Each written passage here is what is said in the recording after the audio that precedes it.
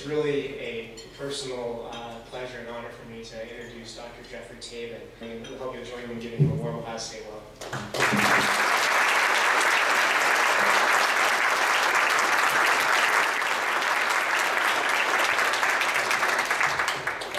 John, and thanks to Professor Mauger, and thank you to you all, and thank you for all you're doing to uh, set up global ophthalmology here in, in uh, uh, Columbus, Ohio. I'm going to sort of backtrack a little bit and just tell a little bit about how I got involved. I was just a kid who liked to climb. I um, started rock climbing as a teenager.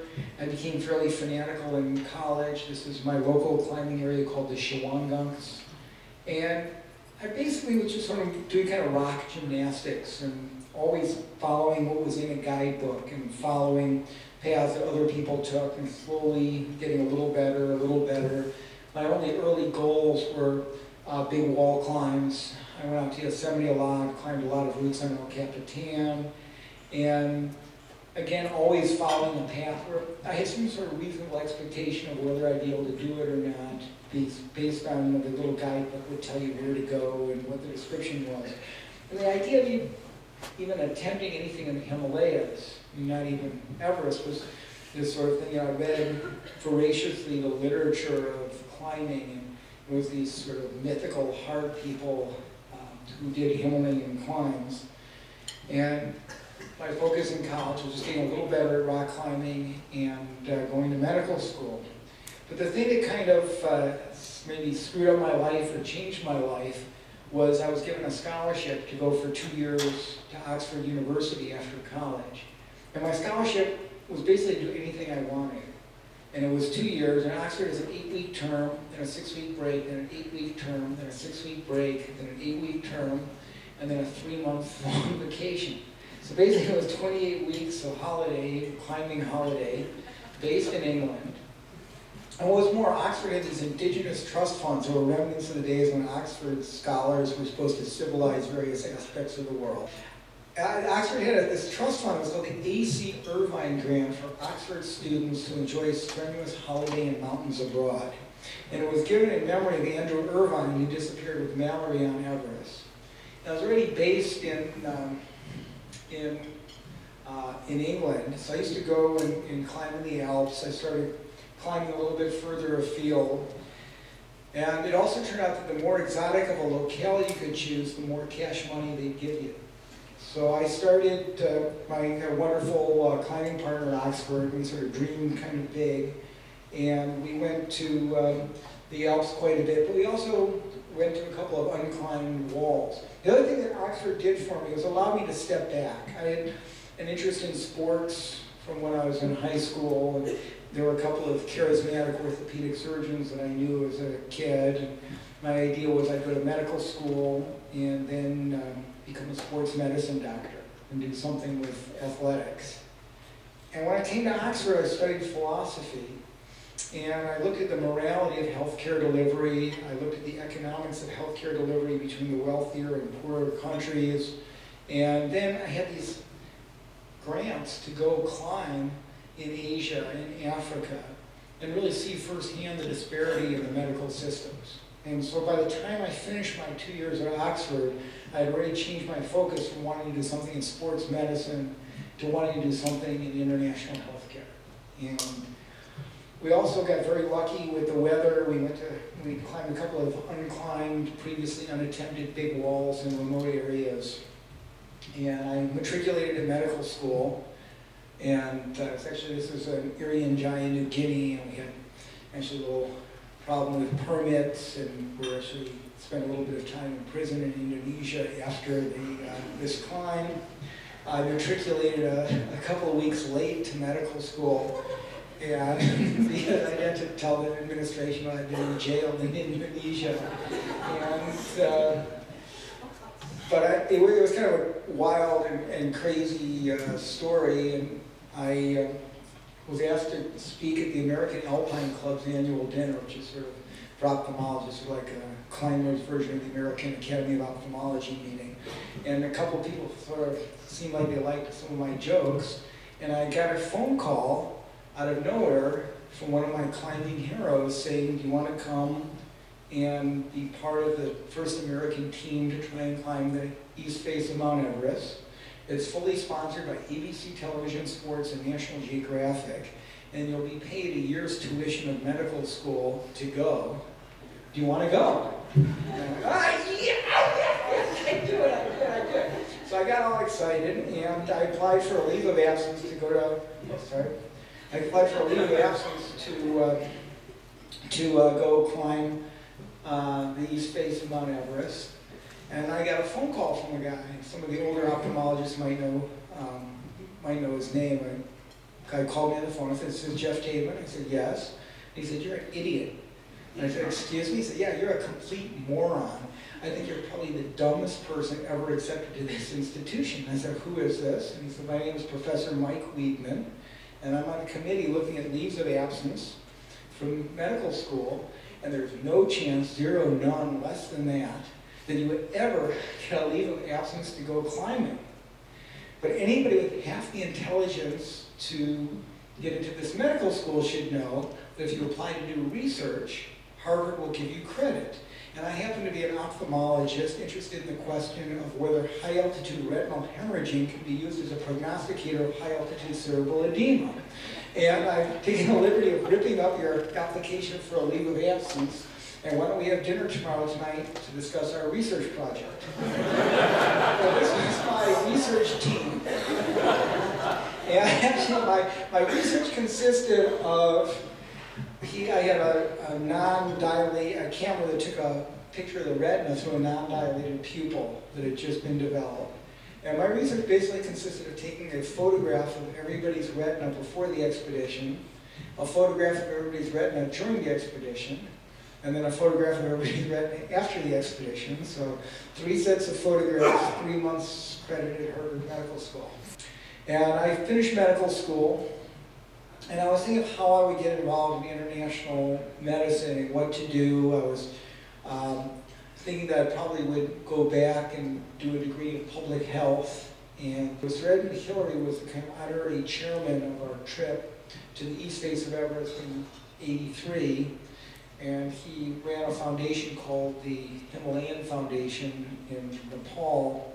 Mean, one of my heroes, not so much for his climbing, which in addition to Everest, he climbed quite a few other unclimbed peaks. He was the first person to go to both the North Pole and the South Pole.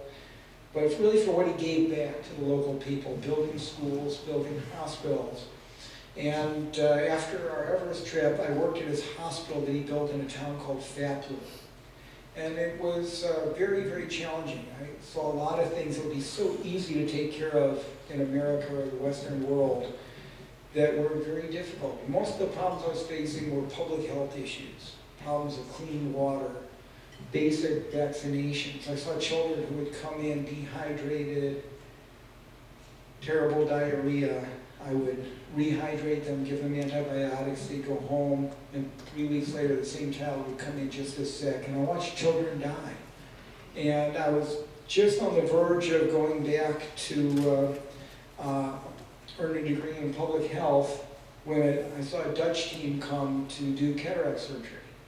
And uh, I really wasn't, you know, in medical school exposed to people who were completely blind from treatable causes.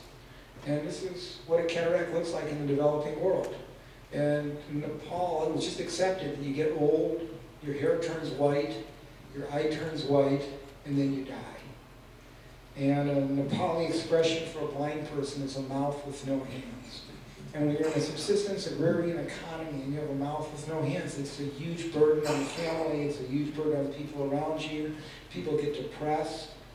And once you go blind, the life expectancy is about one-third that of Asian health match peers. And for children, it's a lot worse. And I watched this Dutch team come in do cataract surgery with lens implants.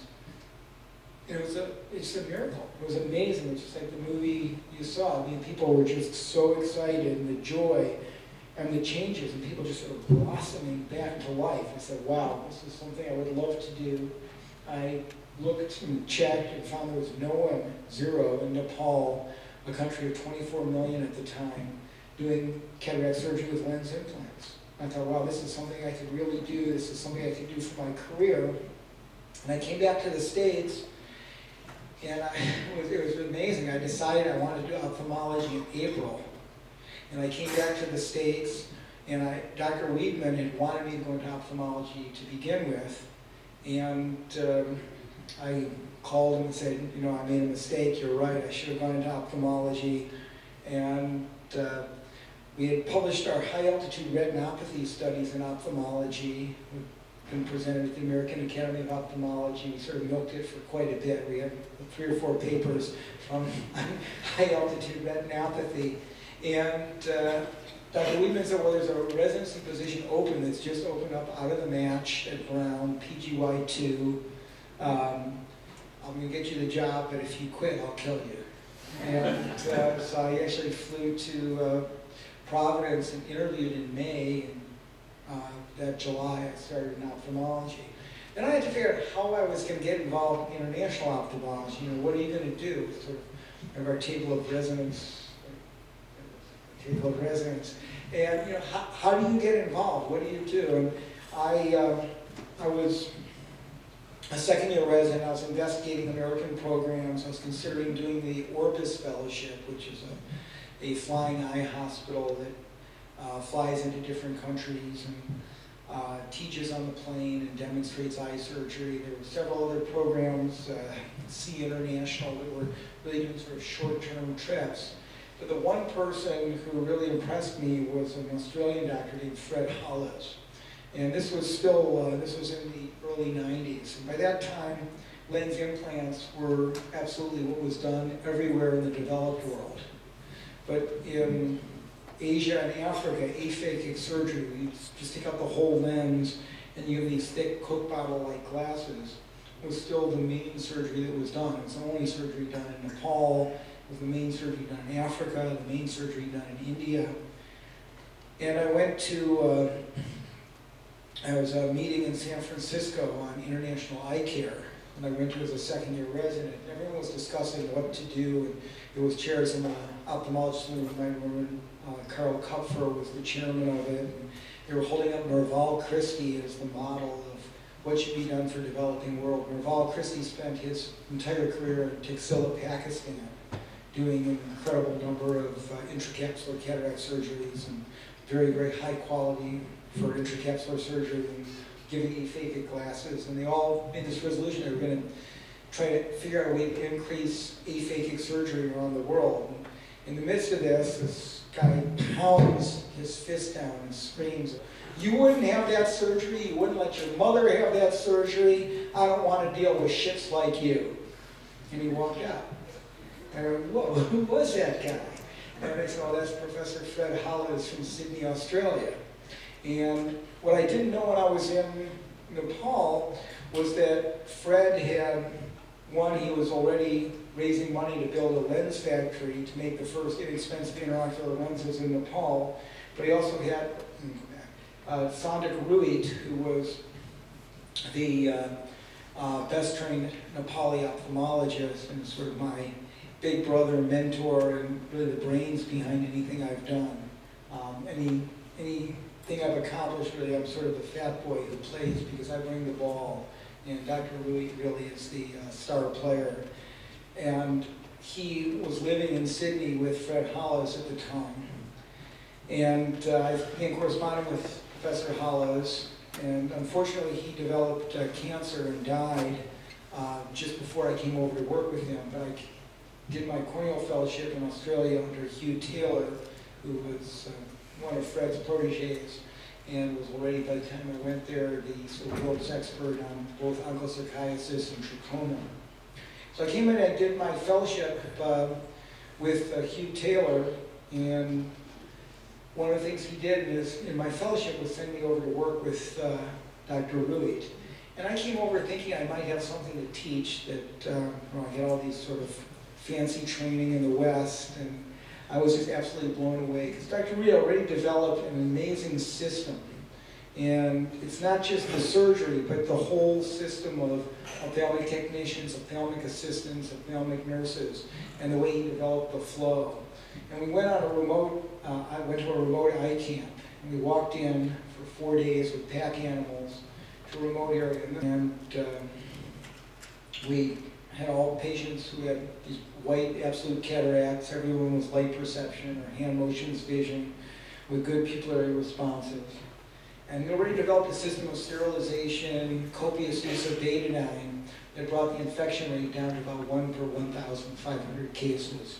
We're in these really remote areas. We sterilized a little schoolhouse, and for three days we worked side by side on these absolute white cataracts.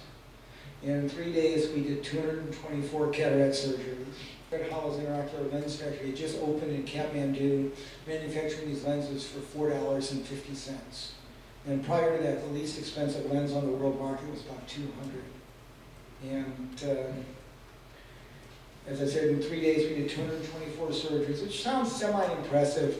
Two doctors, three days, 224 surgeries, until you get the breakdown that Dr. Ruit did 201, while I did 23. and what was more, of my 23 cases, I had to call Dr. Ruit over to my table to help me at least 10 times. And I, I just hadn't operated on cataracts like that um, previously, but it was just amazing. And, you know, every morning it was it's like a movie, so it was, it was it's like a religious revival meeting, and just the joy and the joy of the people, the families. And I said, Dr. Ruit, I want to come back and work with you when I finish my fellowship. Well, I came back after my fellowship and went to work with Dr. Ruit full time.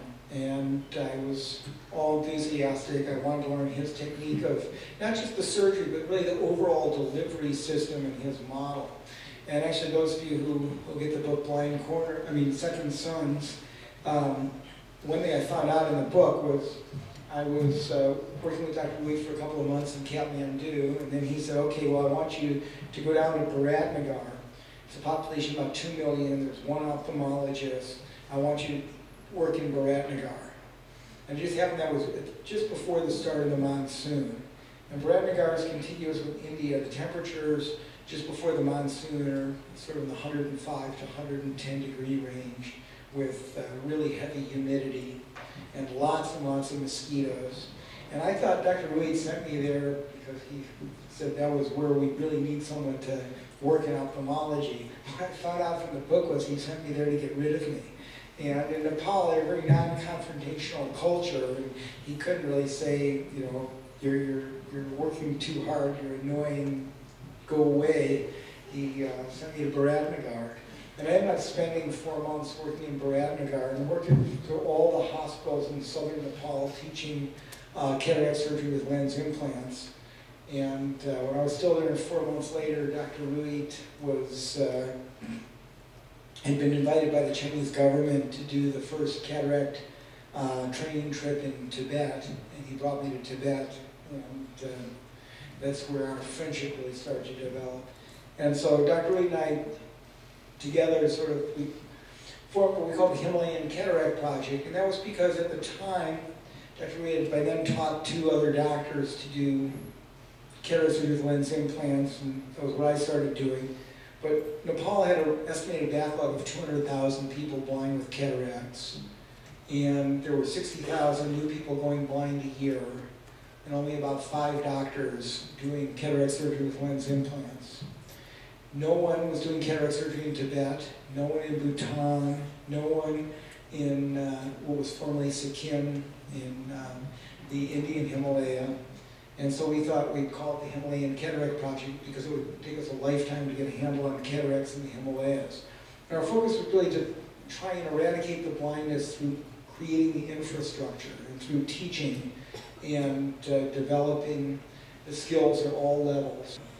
And the whole focus really at the time was training doctors to do better cataract surgery, but also training better assistants, better staff, trying to stretch the skills of doctors. We, Dr. Lee developed a three-year curriculum to train ophthalmic technicians after high school, a one-year program to develop ophthalmic assistants after eighth grade, a one-year program after nursing school to train ophthalmic nurses, and then we started taking some of our best young cataract surgeons and sending them either to Australia or to America for subspecialty fellowships. And then once we had the full uh, spectrum of subspecialists, we started a full residency program. We use uh, high volume cataract programs as a training teaching model so that learning doctors, and of course, a high-volume cataract camp will often do 200 cataract surgeries in two weeks and under supervision. We have the established doctor doing the first eye and the training doctor doing the second. And what's really essential is really the team approach. In order to do a, a high volume program where a single doctor is doing more than 100 surgeries in a day, you need to have the patients perfectly prepared. You need to have really good people. Everyone gets you know, really good calculations for the lens implant and how to keep that straight. Everybody getting antibiotic drops, their eyelids washed, their eyelashes wash, perfectly prepared. We do them all with a block. So someone giving the uh, block, having a new sterile instrument tray for every, every single surgery. It really is, is a team approach where no one does anything that someone with lesser skills can do. So we don't have trained nurses putting in eye drops. We don't have trained ophthalmic assistants leading the blind patient from place to place. Unfortunately, Nepal is so good. I've actually trained, I've had seven corneal fellows, uh, six from Nepal and one from uh, Bhutan, and they're all better than me. And I'll come over and, and teach what I think is the latest, greatest thing that I'm doing. It'll take me an hour and a half, and I'll demonstrate it. And I'll come back six months later, they do what I do uh, in 45 minutes and better. And the cataract surgery now in Nepal is such high quality. And you know, be very comfortable with any of 20 ophthalmologists doing my own cataract surgery in Nepal. Well, again, thank you so much, I'll, I'll be hanging out for a while.